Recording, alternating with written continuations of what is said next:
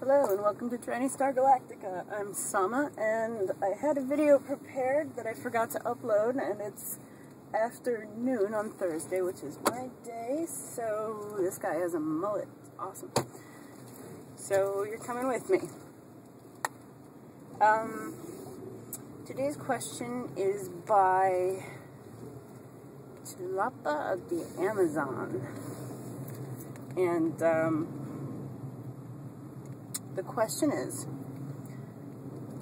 essentially your child comes up to you and uh, says or makes it clear that they are transgendered and you're a supportive parent. So what do you do?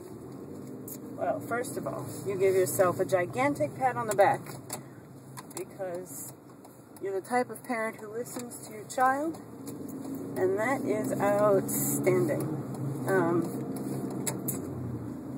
I think that's half halfway. You're halfway home just by being sympathetic and supportive. Uh, that's more than a lot of kids get. So, what do you do? Well, I would I would take sort of a two-way approach. Now, I'm not a parent, so I don't really know these things, but I would say if your child wants to wear a skirt, fine, wear a skirt, but you're not wearing a mini skirt, you're wearing something appropriate to school. And you want to wear a baseball cap, fine, but not in the house. You know, those kinds of things. Um, if you teach them rules and things that are appropriate regardless of gender, or things that are appropriate for the gender that they are, then, uh, you know, teach them both so that they can learn to choose and teach children to make choices. Uh, it's it's sort of a lost art, I think, teaching critical thinking skills. And they can be a lifesaver. Um, if your kid is particularly young, then of course you're going to want to talk with their school administration and their guidance counselors and make sure their development is healthy. Um, you know, it doesn't have to be standard and tough if grown-ups don't like it. Um, because what they should be focused on is the child's education. And education should be available to all people regardless of gender. Uh, let me just think of where I'm going.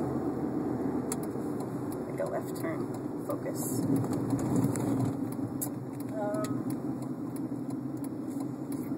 okay, so education.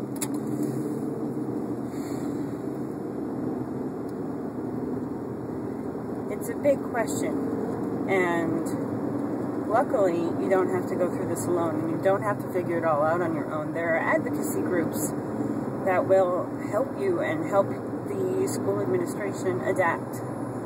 Uh, they'll help you fight battles if there's any sort of dissent or sense of unwelcome. Um, definitely enlist an advocate, enlist an advocacy center in providing those tools and materials that you need to look out for your little one. You also want to teach your little one to look out for themselves. What does it mean to be assertive? Um, what does it mean to be in danger? Uh, what if, and, and, I would do it through probing questions because kids tend to be awfully resilient.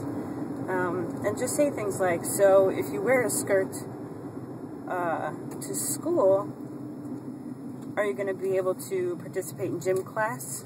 Um, what do you think of bringing shorts with you to gym class? Just to make sure that they're prepared because, again, the, the, the point is education expression is not the point of school.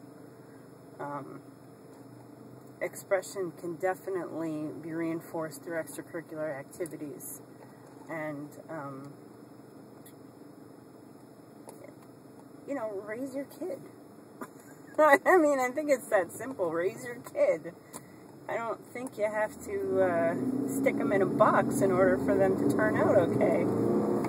So um,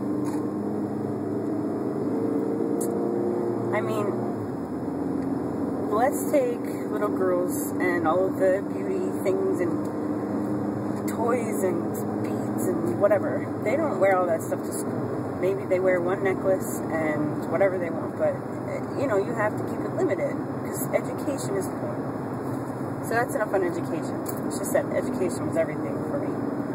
Um,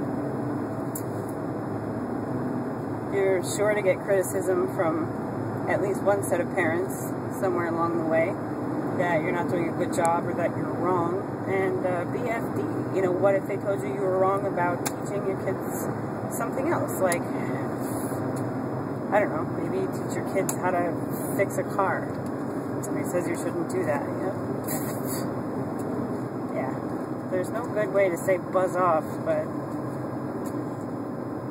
forget them.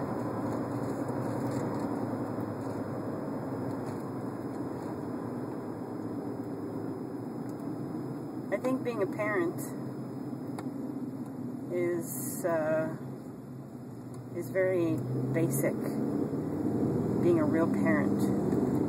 Um, I don't think that has anything to do with your child's gender or sex or uh, level of intelligence, level of physical or intellectual capacity.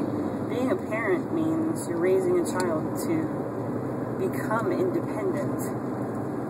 So, but again, I'm not a parent, so I'm just some asshole on the internet. Um, I think there was a follow-up question, but God bless it, I can't remember what it was. Uh, let's see. I don't know, but if you're a parent who has questions about what to do in case I think my child may be gender variant, but I'm not sure, or the child hasn't made it clear. Do you need to press the issue? Um, you might have a discussion with your kids about it and say, well, what do you, what do you think is the difference between boys and girls? You know, if uh, if a boy wears pink, you know, what what are you going to call a boy or a girl? And generally, the rule of thumb for me is if it walks like a duck. um, yeah, have that conversation and see what your kids come up with. Um, there's a woman who, in Buffalo, is a friend of a friend, has one child of each sex. And what she did was, every every now and then, she dresses them in the clothes of the other. They're near to each other in age.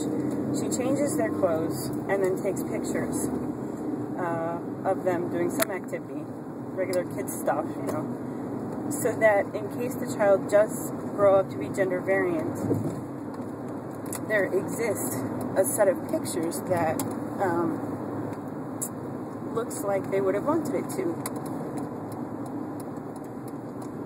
I think that's awesome.